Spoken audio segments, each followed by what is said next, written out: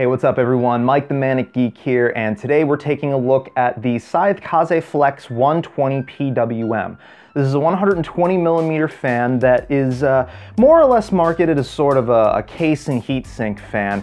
Uh, but today we're going to take a closer look at it and see if it can actually do all of that and then some. So uh, with that, let's go ahead and pop into first person view and take a closer look at this guy.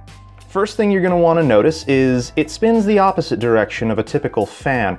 Um, it's not actually a huge deal, it's just that most fans usually spin uh, counterclockwise like this, but this fan is set up to spin the opposite direction. So interesting choice that Scythe made there. Pretty reasonably sturdy frame. I mean, that's taking a considerable amount of effort for me to get this to really flex any. And for that amount of effort, with this being just installed in a PC, I seriously doubt you're gonna encounter durability issues there.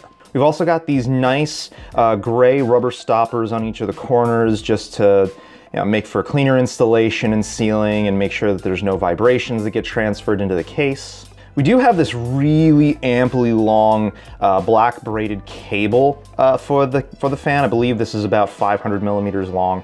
Probably the only issue that I have with it is the fact that the cabling itself uh, is this really bad combination of colors which you can see up close right there. Um, it's not, it's, again, it's not really a deal breaker kind of thing. It's just an aesthetics thing, so take it for what it is. Now I should note that while in general this fan is pretty well built, there were a couple of uh, weird isolated instances that occurred, uh, one of which being this tear in the rubber here. Now by the time I noticed it, the, the fan had been handled enough. I'm not really sure if it's shipped like that or if it's something that I created, uh, but either way, it's there. Um, it, I haven't encountered this on any of the other fans that I've had from them, so I would imagine this is sort of an isolated incident. Nom nom nom. We also have this black clip right here that uh, helps sort of keep the cabling that goes across the section of the frame organized. Uh, on one of my fans, this clip broke pretty much the second I started handling the cabling at all. Again, not actually a huge deal. This didn't happen with any of the other fans that I have.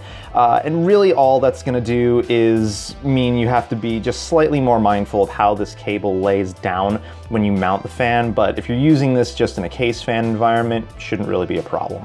Now let's see how well she performs. All right, so we ran several different tests with the Kaze Flex 120 PWMs, uh, mostly centered around my Rosewill Cullinan case. Uh, so what I did here was I tested uh, all of my thermals with my Rosewill Cullinan in its stock configuration. Uh, I also then added two of the Kaze Flex 120s into the roof alongside the Rosewill fans running at 100%, with the Kaze Flex fans being the only variable. And then I went ahead and replaced the fans in my Cullinan with all Kaze Flex fans just to see how the entire thing would perform with completely different fans. If you want any information on the testing configuration used here, uh, look down in the video description, it's all listed there. But as we can see looking at our half fan speed CPU stress testing, uh, the Cullinan stock fans really aren't up to the task of keeping a heavily overclocked CPU cool at their low fan speed, and we resulted in some kind of uncomfortably high temperatures, not only across the CPU core, but in separate data, we also saw VRM temperatures climbing to uncomfortably warm temperatures. Replacing all of the stock fans with Kaze Flex fans resulted in much better half-speed CPU load performance, with full fan speed CPU loads being basically within margin of error here.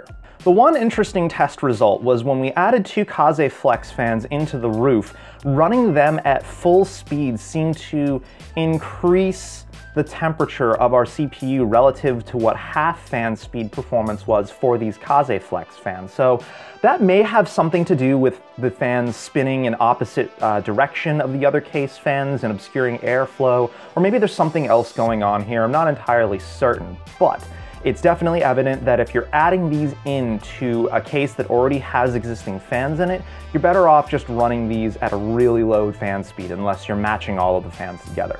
As far as the GPU stress testing was concerned, the card didn't really seem to care one way or another what the overall configuration was since everything was in margin of error with the exception of the Kaze Flex roof mounted test where the addition of the two fans alongside the Rosewill fans saw half fan speed GPU loads drop to essentially what the load temperatures were at full fan speed, which actually resulted in a significantly quieter operating system during GPU stress loads.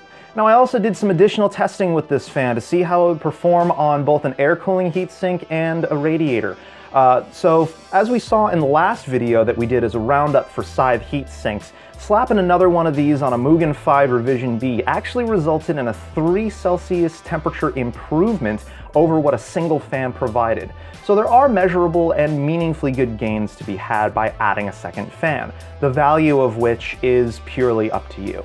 Throwing these on a radiator, however, did not yield very good performance results as we actually saw a 6C increase in temperature over the stock Corsair H100i fans, but it should be noted that this radiator has a really high FPI count, so you might be better served using these fans on a slim profile, low FPI count radiator to maximize their efficiency and minimize restrictions for air passing through the radiator.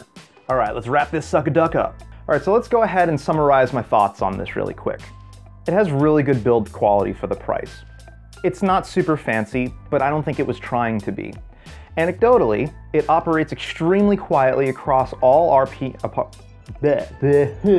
It operates quietly across its entire RPM range and really functions well as a case fan or an air cooling heatsink fan. Radiators, you're gonna wanna stick with a slimmer profile, low FPI count radiator if you're gonna use this for that purpose, but even then, it's not terrible in that regard. It's just not gonna be meant for a really high performance water cooling setup. It's meant more for something where you just want things to be low profile and really quietly operating without adding a lot of bulk to your case. But hit me up in the comments below. What do you guys think about the Kaze Flex 120 here?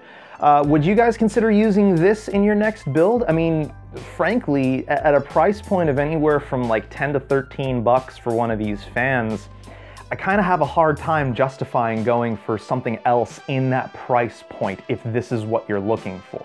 But that's gonna wrap it up for this video. Toss me a thumbs up on it if you like what you saw. Don't forget to subscribe for more content that I'll have up hopefully sooner rather than later. And as always, I'll catch you guys next time. Take it easy.